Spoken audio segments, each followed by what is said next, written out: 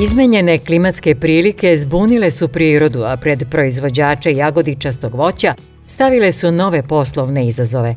70-godišnji Milenko Nešić iz Mačvanskog sela Bogatića, koji je ceo radni vek proveo u malinjacima i kupinjacima, kaže da ne pamti ovakve oscilacije u temperaturi, koje će, po njegovom mišljenju, mnoge proizvođače naterati da se okrenu otpornijim sortama.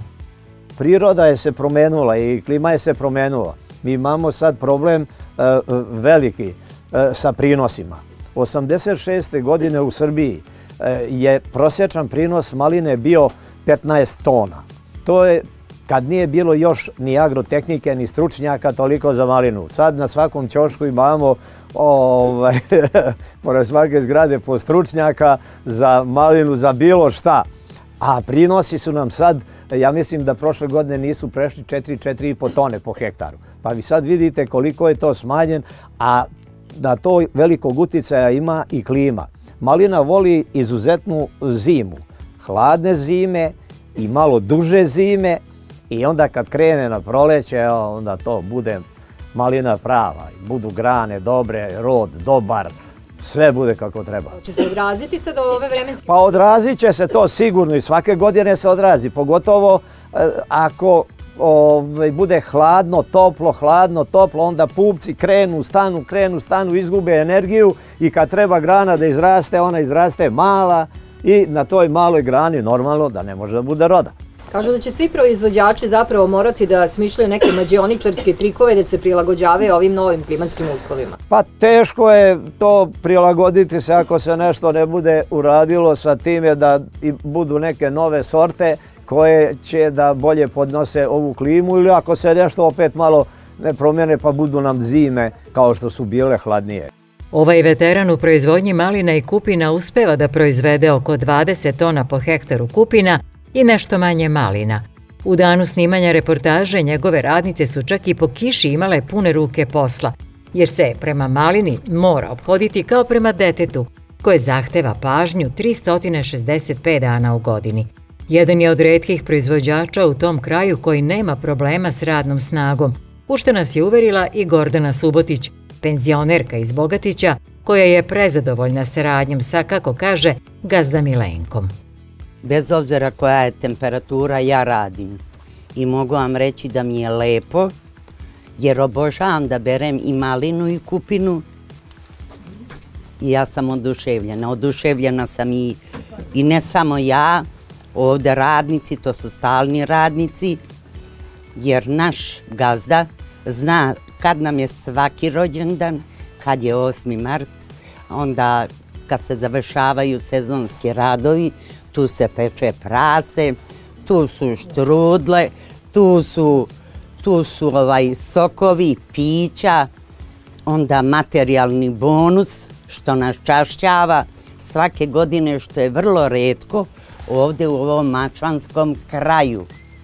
Jer mnogi ovi proizvođači, bez obzira na malinu, na kupinu i na ostale, bi trebali da se ugledaju na ovoga čoveka Milenka Nešića. Dok je slušao lepe reči o sebi, Milenko nije uspeo da sakrije zadovoljstvo na svom licu. Kao što nam nije promaklo ni nezadovoljstvo kada smo ga pitali o problemima s kojima se susreće u svakodnevnom radu. Kod nas je sve anarhija, nema ništa plana.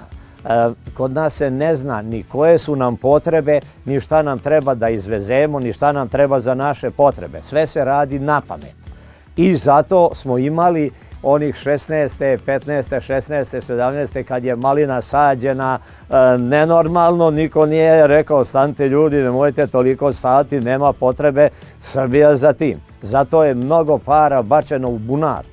Znači pare koje su propale, ova država je oštećena za mnogo novca tad, to vrijeme, ljudi koji su uložili sredstva, nisu na kraju, posle godinu, dve dana je napušteno, svi malinjaci su napušteni i ostaju u korovu. A to su opet bili oni ljudi koji su na raznorazne sumnjive načine došli do para, pa su onda mislili tu ćemo mi sad u maline da uložimo, će, a hladnjačari su trljali ruke tad.